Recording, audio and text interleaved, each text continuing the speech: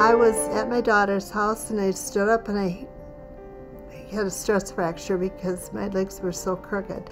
They call it um, wind swept. Um, one was varus and this one was valgus. That meant the, the val varus one was bowed out and valgus was in.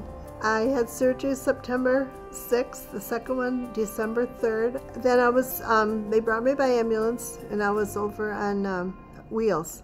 That's the short-term rehab. And I was there a month after each surgery.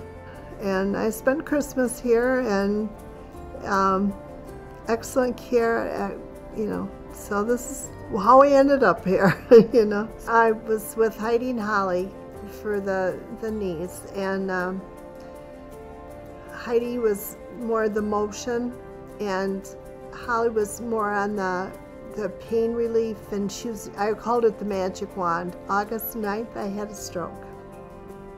Totally unrelated to the knees or anything, but it was due to sleep apnea.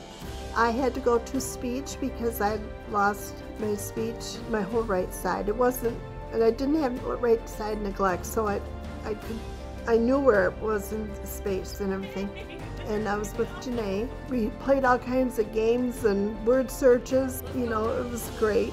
And she would put these cards on here and for unrelated topics. And you had to quickly make up a story.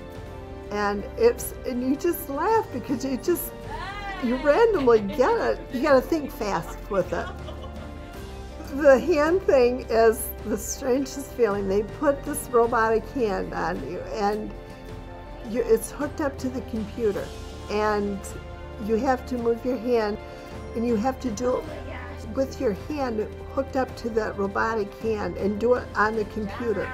They push you hard and, and it's good, but they do it in a very gentle way. I recommend it so many times. This is A1. They predicted me to be here three to four weeks, and I was out and home by myself in two because I worked hard. I wasn't going to let that stop me. And I highly, highly recommend therapy here.